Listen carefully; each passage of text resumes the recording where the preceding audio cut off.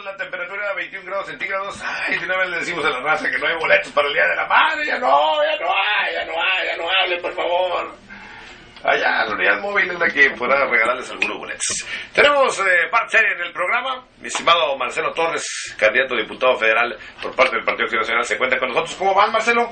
Mi estimado Batman, muy buenos días, muy buenos días a todos los auditores y sobre todo estar aquí en Ciudad Gótica. Muy contento, fíjate que ha sido una campaña muy dinámica, muy alegre, una gran aceptación que hemos tenido pues precisamente con la gente.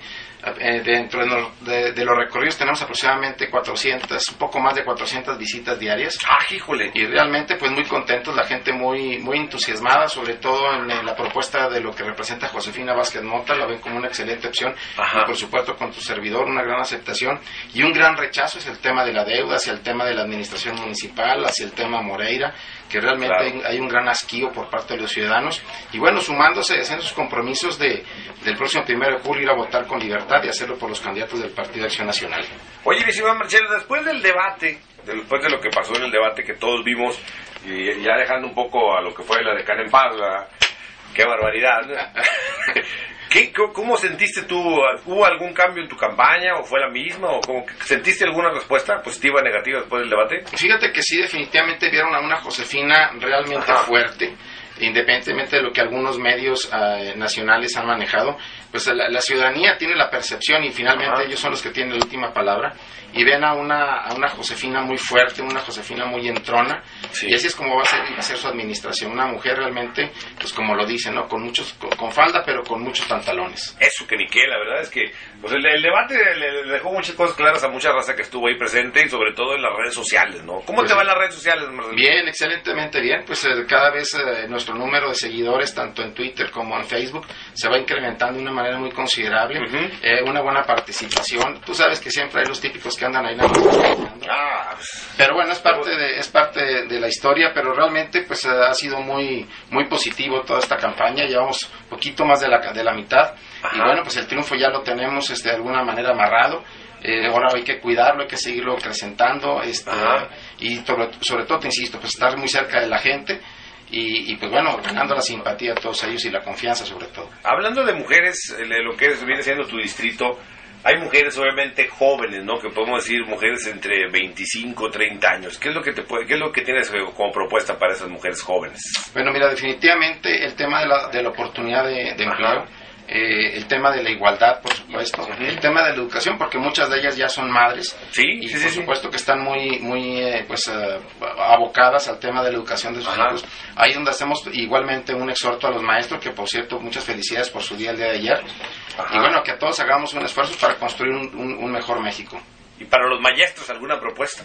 Bueno, los maestros obviamente que cada vez se puedan capacitar más. El sistema educativo es un sistema que lo debemos de, de- de actualizar, lo debemos de modernizar Ajá. a través, por supuesto, de las pruebas que se tienen que estar haciendo. Tiene que haber una, una capacitación constante para que puedan estar en posibilidad de, de prestarle pues una, un- una mejor atención eh, y educación, por supuesto, a nuestros hijos, que son el futuro y el futuro inmediato de México. ¿eh? Que por cierto los maestros cada vez parecen más ingenieros civiles y se aventan unos puentes, güey. ¡Qué barbaridad!